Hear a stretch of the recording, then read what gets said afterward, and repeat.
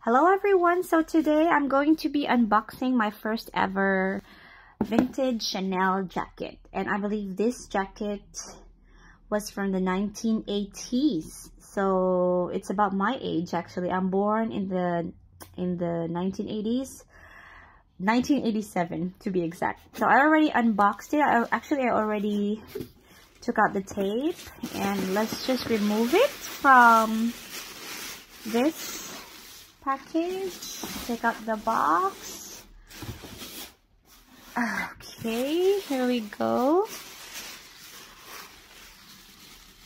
Look at her. She's in navy blue color and in cotton fabric and the signature metallic chain on the hem also the CC logo on the silk lining. So it's in pretty much great condition. It's the, the previous owner took care of it. Actually, the previous owner um, got this also second-handed at a vintage store here in Shanghai.